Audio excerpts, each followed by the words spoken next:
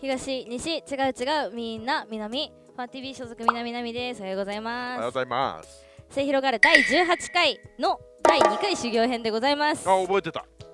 素晴らしい。なんで修行編なんでしたっけ？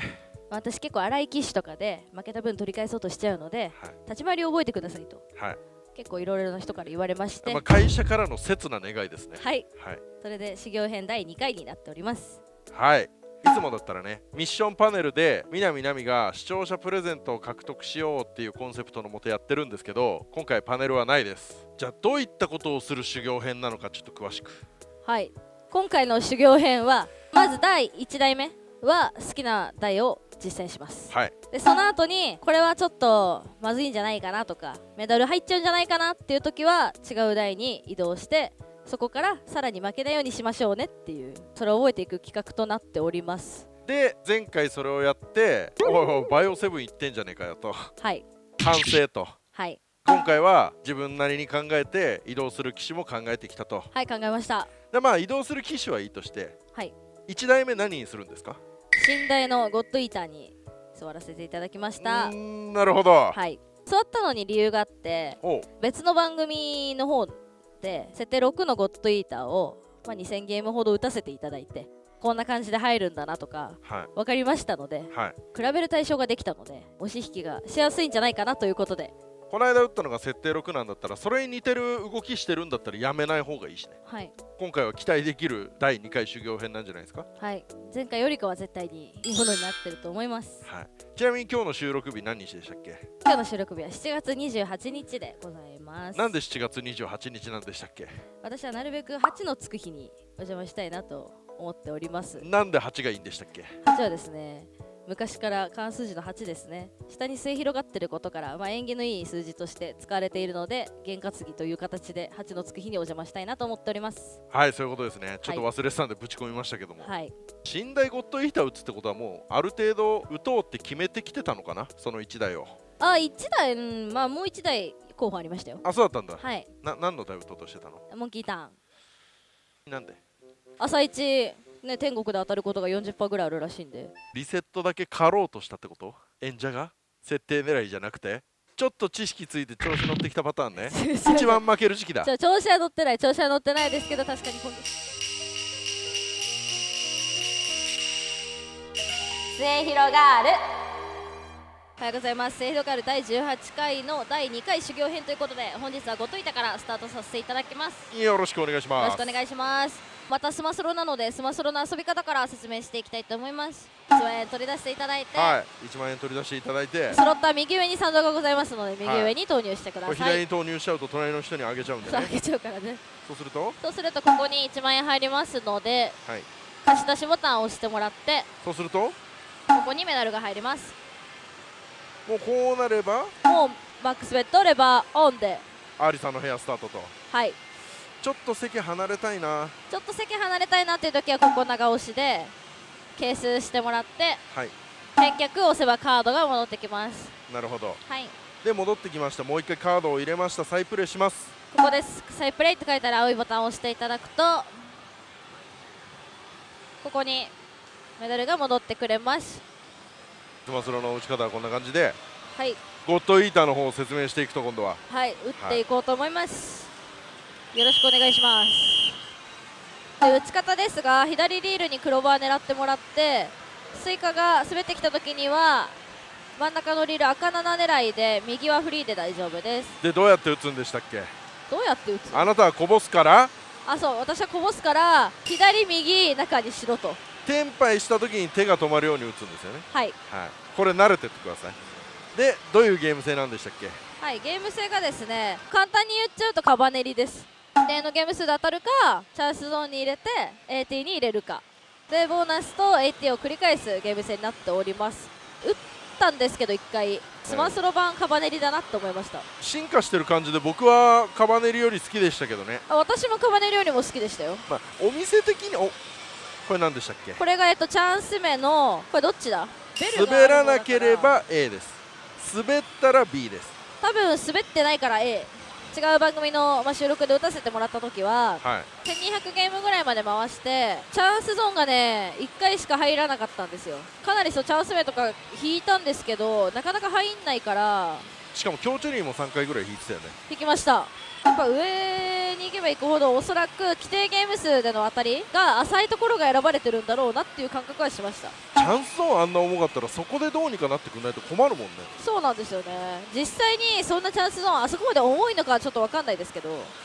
まあでも他の設定6の実践データとか見てても初当たり結構軽くて。大体600ぐらいまでははまらないみたいな。そうだね。行って600基本的に450以内で当たってるイメージめったなことでは天井はいかないんじゃないかなと思ってるけどね。とは思うんですよね。なんかすごい溜まってる。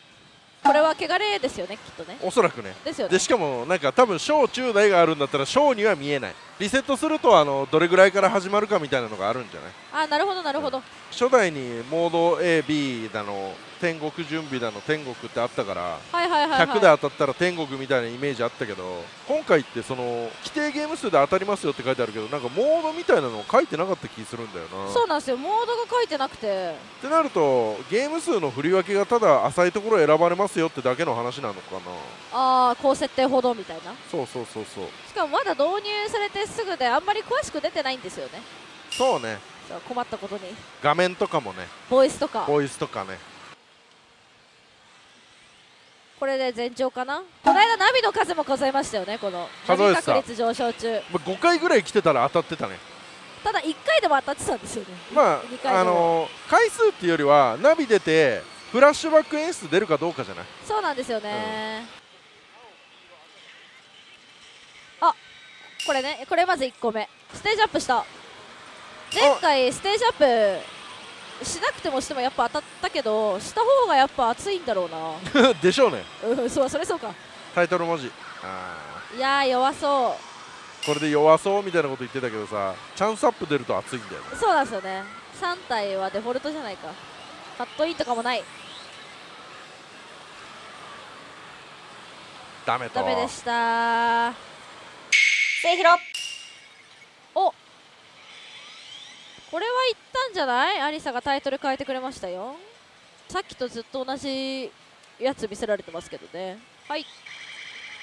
やっと取れました初当たりです。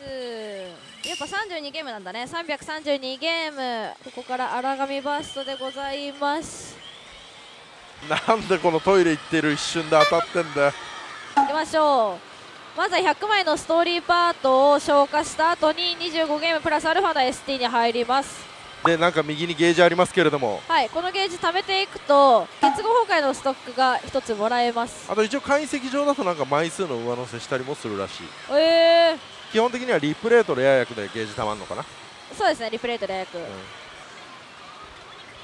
側面後方ともにクリア。アリサ。まあ問題はここからどう伸ばすかですからここがいいよね本当は。それ激鱗だっけ？そうなんか勝つといろいろあったはず。ハンニバルでございます。チャンス目が効果的。25ゲームプラスアルファでこいつ今ここハンニバルですけどを倒せればボーナス。でまた ST っていう感じのループタイプになってます。キャラに応じて特徴があったり弱点役があると。はい。でハンニバルはチャンス目が弱点ですよ。でも特徴は特にありませんだった気がするわ。はい何でしたっけ？リプレイ引いた50%で入るんでしたっけ？えー、っとそうあの右2つの特殊なやつ以外はリプレイで50%レア役で8点濃厚はいはいはいはい。ここで相手を倒せればボーナスですよっていう感じですね。この間もなんか引いた方がいいのかね？あおよしいける。よきかな。よしいけるってチャンスの方でしたっけ？まだだがあそうだよ。あれかあデフォルトか。の食らってまだだがデフォルト。そうだ。でここ赤もあるん1ですよね。個う。んそう。あ。あチャンスアップ2個目はい。ありがとうございます。単発回避。はい。これでもう一回ボーナスに入りますと。これがカバネリだよね。無名生駒クルスですよ。そう。まあまあまあまあ、でまあまあまあこいつだとあまあ最低200ゲームもらえるんだよね。200、まあ、そうですね。200枚もらえるんで。200超えたらラッキーですね。いけ。まあ200ですね、大体はそんなもんですよねはい行きましょう。あーチャンス目だ。確かに。あ。ストックゲットです。さあ結合崩壊すると何が起きるんですか？結合崩壊すると弱点薬が増えます。カリギュラこれ初めて見あ初めてじゃないわ。この間も出たわ。チェリー変換が起こりやすい。かつ今結合崩壊してたからチャンス目も弱点になりましたよ。なるほど。どうせだったらチェリー引きたいですよね。変換してほしいもん。はい。一旦発展しましたあ中から行く？えいいよ。あーまあまあ。これで変換する可能性大いにあるし。変換した？変換した。しかも今の時点でさなんか金っぽくなかった？金っぽかった。これねあのだはい。やっぱそうですよね。オーバーキルしてるかな？全然ありえると思う。しててもおかしくないですよね。でもオーバーキルしてるよほあら本当だオーバーキルやったー。ええやん。これであれですね。上乗せに行くのかな？ナイスバーゾロイ。バードレナイス。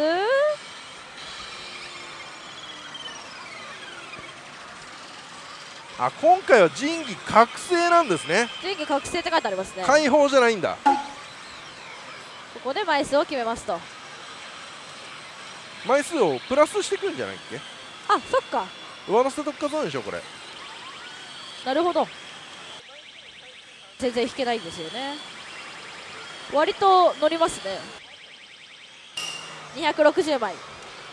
なんか少なかった気がする。うんなんか少ない気がする。だってこれで消化して終わりですもんね。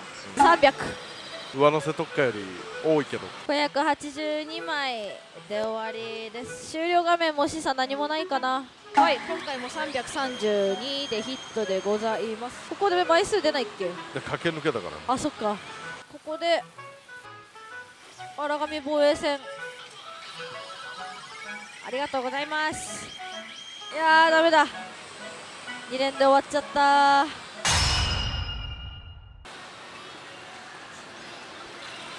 ねえねえねえなんでそっち行くの？ねえなんでそっち行くの？ええ。今めっちゃ大声出しちゃったのにいないからさ「ねえねえねえ」とか言っちゃったんですよあら。あら。あら。ー引いちゃったじゃないの。サムネできましたね。多分後々これ動画見返して分かると思うんですけど引いた瞬間の私の焦り具合多分やばい フリーズチャンスですよねこれね。うんフリーズチャンスだと思うよさすがに。紙チェリー出現時の一部。フリーズしたら紙落ち突入です。ほーん。ほーん。まあ多分これの何分の1かだと思うけどね。押しちゃった普通に。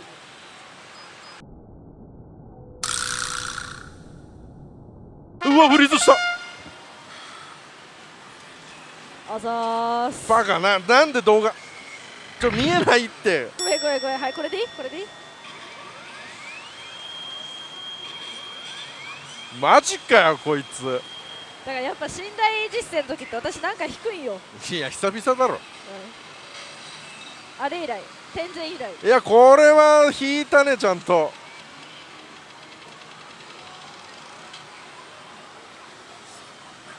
このさブラックアウトした画面にさ D の顔がめっちゃ反射して映ってるマジか引いちゃった。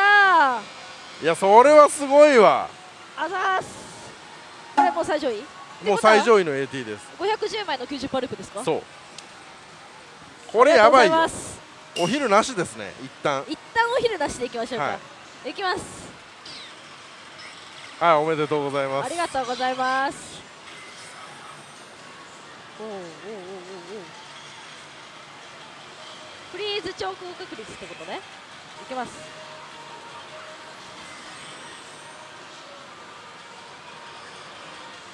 大丈夫これ？えね。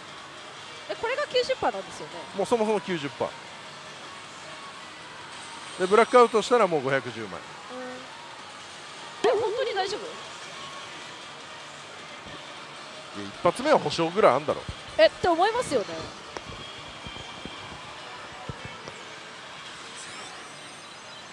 さすがにプチュンしてくれるでしょ。やば。えマジで言ってる？あこれ何？ああそういうことね。そういうことね。はいはいはいはい。この4ゲーム間超ドキドキなんだけど。いやーすごいわ。いやーこれは見れると思わなかったな。ね本当に見れちゃいましたね。まさかフリーズすると思ってなかった。でも問答無用の510枚でしいきますよ。モンド無用の510枚90%ょこれ何回この音聞かなきゃいけねえんだよ。ループではありますけど。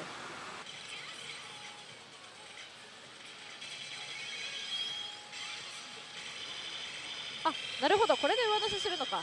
荒紙バーストがないからここで上乗せをすると。なるほど。さあ行きましょう。90%ループでございます4ゲームないとでさ最初の方にお願いだからなってほしいよね。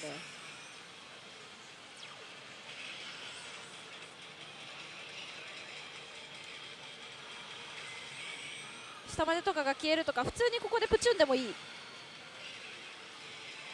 このさ高継続率っていう肩書きを持ったさこういう短いタイプの ST めちゃめちゃ苦手なんだよ。待って待って待って本当にブブブみたいなタイプ超苦手。う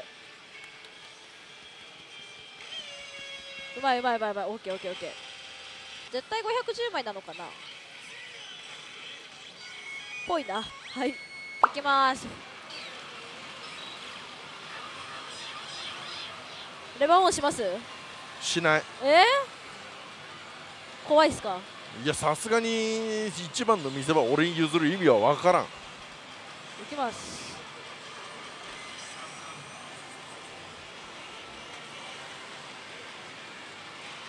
ここで押せなくなってほしい。うん。今ね、光りましたよね、うん、上違和感あったね。いやこれすごいわ。これは破壊力あるわ。これはねそれは510枚がだって90%ループですもんね。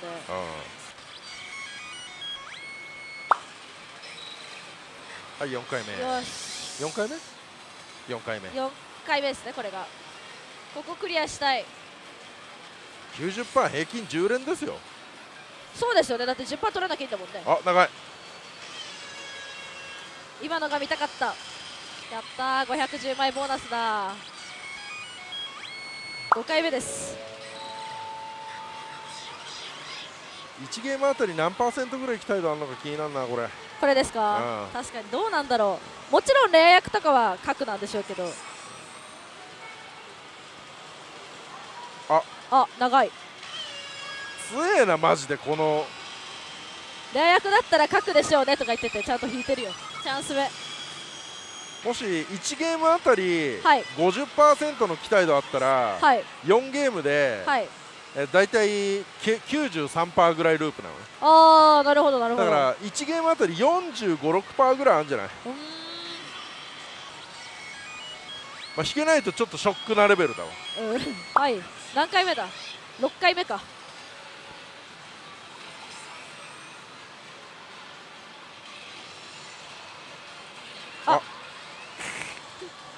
すぐ分かるのいいな。押せない押せない。ポリゴンフラッシュレベルにビカビカしてるほら、今のとこで。うんうん。ポリゴンフラッシュね確かに。そりゃそうだわ。ポリゴンフラッシュはねテレビでダメになったのに、ん。これはいいんだって話ですから。早い。もう3000枚ずっとやばいってこの速度。30分だよ。早い。やばいっすねこれ。最上位にふさわしいよ。1時間で6000枚でしょはい3時間でコンプリートするよこのペースだったら。やばいっすねそれね。90%続けましょう。まあエンディングで終わっちゃいそうな気するけどな。まあまあまあ。違和感欲しい。まだ平均じゃないからね。いやーひー怖い90%の力を見せてほしい。これ通したらほぼおおよかった。これでもうほぼエンディングじゃない、そうっすね。うん、リセットしてれば。自分が使った分プラス2400ですよ2400ね枚だ多分1200枚ぐらいだと思うんですよね。3648枚で、はい。えーエンディング。感想。あ！お？これエンディングじゃない？エンディングっすね。1000枚だよやっぱり？行きました。ちょうどそんなもんでした？3500枚のところでちょうど行きました。こういうことね。ラスト一気に減ったよ。暴れ狂ってたんだろうね大が。どうせエンディング行くしどうぞでしょ、1000枚どうぞって。うん、それは嬉しいけどさ。完走しちゃった。ちゃんと当初の予定通り進んでますから今は。そうね。この後にあれかな上位か最上位かなのかな結合崩壊のストックが1個もらえてる状態になってます。本当だ。え？あ？こいつ超いいやつじゃん。オーバーキルが起こりやすいと言われている。なるほど。ディアウス・ピター。初めて。リプレイもついた。強っ。何でもいけるやん。もう全部いけますよこれは。とりあえずリプレイが引けないとダメなんですもんね。もう何でもいいから引けようだねこれは。はいあ？ナイス。林道だったね。あ本当だ。あ上位はリンドウなのかな？もしかしたら。ちリンドウって強いんすか？班長みたいなやつだったからね。ああリーダー的な、うん。へえさあなんかあもう勝ち。これはもうこれはもうオーバーキルオーバーキルでしょ。オーバーキルオーバーキルなんてあんのかな？リンドウがそんな簡単に負けるわけないんだから。本当ですよ。強いでしょ？はいいってらっしゃい。あざっす。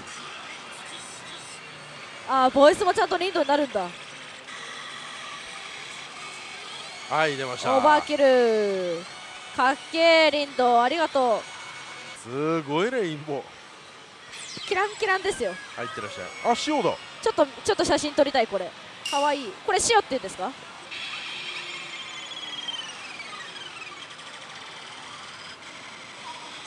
？30以上載せたいですよねどうせなら。最低そうね。30枚なら、リプレイならねここまでが最低保証なのか。最低保証うんここからか。8ゲームプラスアルファ。もう危うい気がするけど。下手くそすぎんか私これ。最低保証でした。最低保証でした。ありがとうございます。お！あった。復活した。復活だ。あっと！と？いいよ。いいよいいよ。事故ってきたよ。510超えちゃえ子役が揃えれば大丈夫なんじゃないかな。継続率もありつつなのかな？どうなんですかね。あーダメだった。450枚です。十分。まあ200枚200枚はい。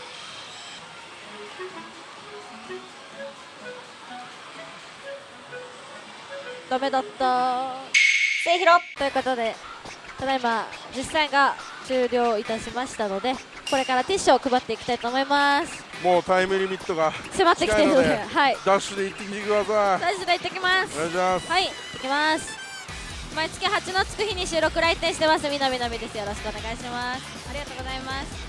はいということでですね本日ギリギリになってしまいましたのでパパッと D の島チェックいってみます、えー、寝台の賞金首エンジェル1台3000枚出てますねスマスロケージ三大島なんと1台5000枚出てますスマスロ北斗無双こちらですねなんと1台6000枚オーバーしております六大島の戦国乙女なんですがなんとですね3000枚の台2000枚の台なんと5000枚近く出てる台やってんなでこちらみなみなみも売ってたゴッドイーターの台えー、ほぼ4000枚の台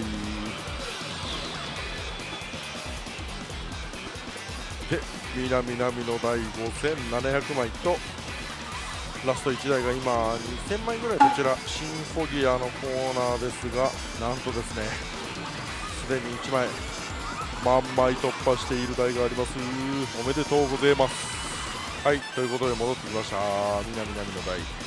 立ち回り修行編第2回ということで以前打った設定6との違いを見極めながらもしダメであれば次の台に行こう。初当たりが良ければ続行しようみたいな流れで実践の方を進めていたんですがなんとですねぶっ壊すという立ち回りもクソもないロン振りを引き上位に入れさらに上位に入れとということなしでしたが立ち回りっていう面で見た時に立ち回ってないんじゃないかと。第3回完結編ありますね。エンディング前までに考えておきます。エンディングどうぞ。末広。実践終了しました。お疲れ様でした。久々に時間に追われる実践でした。そうですね。久々に。汚れがたまるイコール出てない。はい。そして汚れが解放された時に救済措置が行われるタイとはい。それを行わなかった上で全てやりましたね。はいできることすべてやりましたね。久しぶりにこんなにいい引きを見せられたんじゃないかなと。まだちゃんとした実践でロングフリーズを引いて完走もしてっていう動画は出てないんじゃないかと思いますので。最速だったらいいなぐらいでとどめておきます。ただね思ったんですよ。出玉に追われる一日になったなと。そうですね。打ってる感触としてはどうだったんですか？私が打った時って2000ゲームしか回してないし、まあ、600までハマったりもしてますし、まあ、前回と変わるところって言ったらなんだろうとは思いますけど今回も初当たりだいたい300ちょいぐらいで当たってでチャンスゾーンもちょくちょく入ってくれてっていう感じだったので、まあ、悪くはないんじゃないかなっていうか印象だったんですけど。あボイスもね。あそうです。ボイスも、まあ、前回聞いたボイスはもちろん前回聞かなかったボイスも何個かちょくちょく出てくれたので、まあ、全然悪くない台なんじゃないかなとは思ってるんですけど。じゃあ時間あったら全然続行してたの？続行してます。結局スロットってやめる理由がたくさん出てきたらやめるものだと思ってるんで。どうしてもね収録だと時間制限があるんで頃合い見てやめようかっていう判断になっちゃうんですけど、まはい。あ、今回は休憩も取らずちゃんと分回したっていうところで悪くはなかったと思います。ただですね立ち回りがどうだこうだと言われたらはい。別に朝一に座った台が吹いてはい。やめる判断もしてなければまだわからないぐらいで終わってるんですよね。なのでもう途中で今日の動画のことは見せ場いっぱいあるからいいやと思って次のことばっか考えてました D は。なるほど。はい。末広がある第19回。はい。修行編第3回バージョン完結編を行います。なるほど。はい。なんとなく想像はしてました。今日の絶対立ち回りじゃないよなって。この経験を生かして立ち回りはもうこれでいきましょうと。はい。本気を見せてもらって。はい一旦修行編完結としたいと思います。はいパネルなしですねそしたら。よろしくお願いします。はい、はい、よろしくお願いします。はい、いろいろ考えておいてください。信頼もいっぱい入ってたんで。はい。ということで今日の収支は？本日の使用が1248枚戻ってきたメダルが5775枚となっております。名前がなんとなんと4527枚です。久々に解消しましたね。解消です。ありがとうございます。あよかったです本当に今月の末広ガール収支はプラスになったんじゃないですか？あれ？でも前回も前々回もひどかったなそういえば。はい。本日も動画をご視聴いただきありがとうございます。チャンネル登録コメント高評価ぜひぜひよろしくお願いします。ということで次回末広ガール第19回修行編第3回完結編でお会いしましょう。バイバーイ。